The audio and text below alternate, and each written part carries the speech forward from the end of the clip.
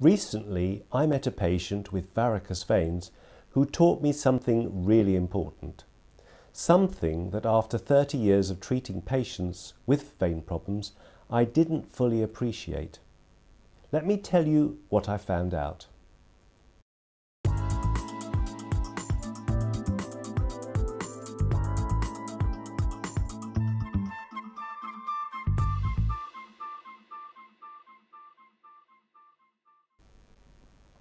I met Steve at the beginning of the year. He told me that he had a very itchy vein on his thigh that was driving him mad and he was finding it difficult to continue with his work as a lorry driver. He had been told to use a hydrocortisone cream and he asked me whether he could have varicose eczema on his thigh.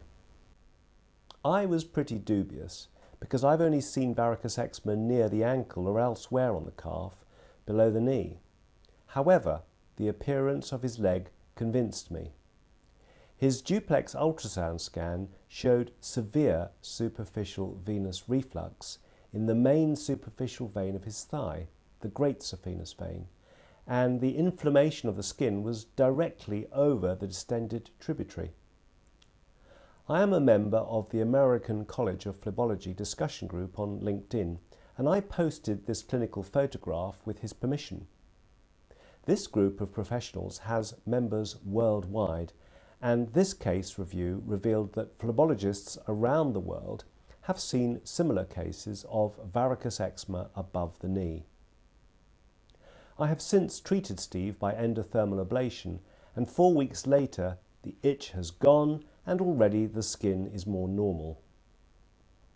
Now, if you have a rash near or over a varicose vein, request a duplex ultrasound scan.